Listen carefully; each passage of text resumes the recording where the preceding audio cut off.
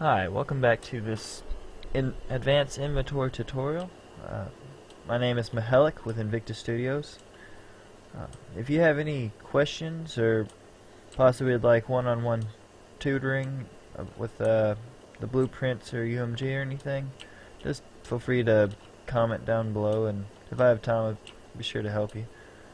Uh, this next step uh, we have is the to make the inventory widget. Um, so start with adding a folder. So click Blueprints, Create, New Folder, and I call it UMG.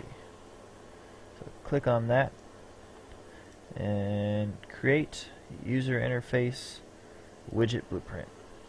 I name mine inventory widget. widget. Open that up. Alright, I'll start with uh, explaining some things. Uh, with the root, you have the canvas panel. Um, this is basically the uh, screen of your uh, computer monitor or TV or whatever you watch it on. Um, mean to click that. Uh, borders, um, they pretty much surround whatever you put in it, and um, we're actually going to need one, so I'll just pull one out. Um, you can change the brush color or put a texture on there to um, make like uh, maybe different buttons or backgrounds. Um, I usually just set it for now to kind of a darker gray. Um, buttons, you can click on it and make events happen. Um, checkbox, you can toggle things. Images, you can um, bind it to bring up images. We're actually going to use one. Like whenever you click an item, it'll bring up the thumbnail for it. Uh, lots of different things like uh, the horizontal and vertical boxes are really useful. Um, though we actually need one right now, so we'll just pull a vertical box into the border. And what it does is it basically makes a list. So every time you put anything in there, it'll go from top to bottom, and it'll, it'll stretch all the way across right now. And you can uh, reorder them by moving them up and down. Uh, let's go ahead and put a text in there. I like to set it to about 16 and I like to set it as alignment in the center. Right, there's um, spacers which are useful. Just uh, when you drag it down, it's easiest to um, I mean, you can drag and put directly on the designer, but when there's th things like ordering and other things might be behind other uh, widgets, it gets real difficult. So I usually work almost only in the hierarchy, and I don't worry and worry about the visuals until at the end. So when you do drag down, you usually want to drag like directly onto the box, like the name of like a vertical box or the border, and it'll pop it in there. So what I'm going to do is I'm going to set up like uh, the title, which you can set the text to be inventory. Um, there's me a little space, and then there'll be the uh, a big scroll box for where all the items will go. So inventory, there's the space, which I'll set to about five in the Y direction. Um, next, I want there to be uh, some space here uh, the scroll box in space. So since it's going to be horizontal, it needs to be a horizontal box, which is right here. And you drop that inside the vertical box. So it goes text, spacer, horizontal box, which is really tiny right now, but that's okay. Um, let's add a spacer. And you drop that inside of it because it's going to be, this is basically the shell holding these things to about 15. So for the most, uh, not that, for the most part, you don't really want to worry about the visuals until the end. That's uh, a bit big. Let's set to, eh, yeah, it's still big. Set to about 5. Um, then uh, next, uh, another important thing you can use is the size box. So it basically sets like a forced size if it can. So what I'm going to do is put the scroll box inside of that so it doesn't scale weird or get bigger and smaller depending on the items in it. So I'm going to put the where is it? scroll box inside of the size box. And I'm going to set the size box with this uh, width override to uh, let's see what looks good. 50, nope. 1 125 mm, set about 150 and I'll set the height to see what 200 looks like. Zoom out. Mm, that looks about good but I probably set about 250 and you notice it goes down below it but that's okay. Um, you just re-click the border and you can drag it and resize it with this. So I'll set this about here. Actually something I'm going to do I'm going to change this. Um, I'm going to put a border inside the horizontal box and I'll put the size box inside the border. That way this will have a background because this border contains the size box and scroll box it's going to put the color around it. And I just want it to be a darker gray so it's it stands out from the front and uh, it'll be a little easier to read text. So I'll set it to about there. Because down the road you might not want just a gray um, background. You might want to set this to an actual texture like a maybe a old piece of paper looking scroll or it depends on what kind of game you're wanting to play and uh, let me just scoot this over so it's a little more even. Um, down the line, we're probably going to um, add some space in between here and hold information to change. That'll show like the, weight, how many items you're carrying, different things like that.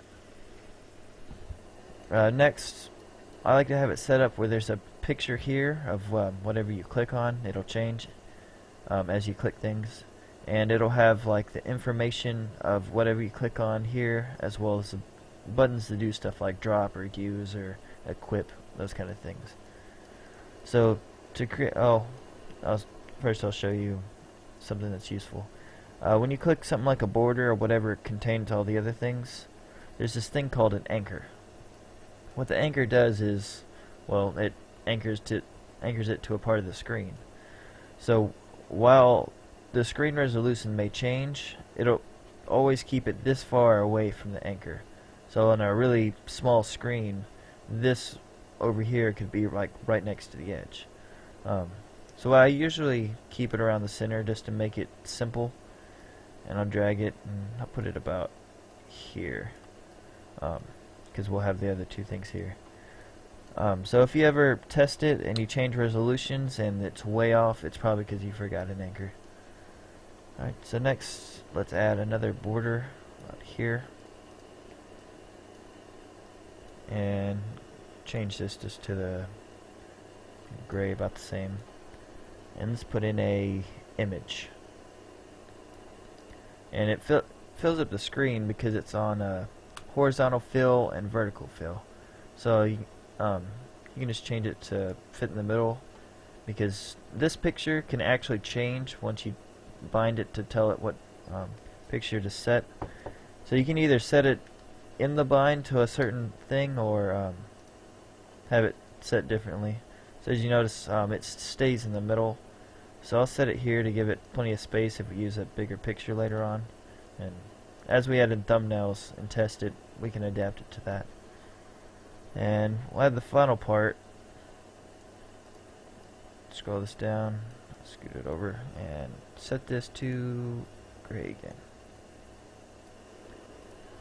So we'll start with a vertical box. Well, you can pop it in there just because it's still simple. Uh, start with text at the top. Uh, set that down again. Probably about 14. Yep, that's wrong. Oh, it's wrong too. Set to the middle, and I'm going to set this to say item name, just so I remember what it is. But we'll actually bind this to change depending on what they click on. It actually still looks a little bit too big, so I set about a 12. So I want the item name, a little space. It'll have the information like the weight, size, um, what it, item uses, whatever you want it to have here. A little space, and then we'll set up a scroll box to have the long text description. So let's add a spacer. Uh, it's about good size. Add a text, which is gargantuan, so we'll set this to about 10. Uh, set about 8. This will probably be really small on my big screen, but we can size this all up later. I want that to be in the middle as well.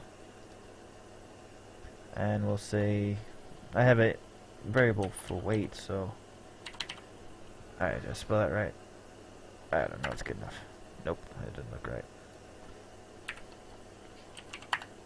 There we go. Uh, yes, add a, add a space. What we can add in things later on if we if I forgot something. Spacer, mm, a little bigger. Five. Alright, and uh, I'll set up the same way I did here. So there's this a little bit of space so it's not pressed up against the edge.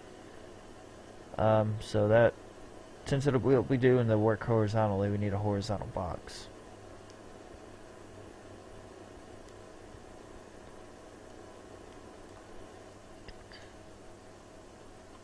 A spacer.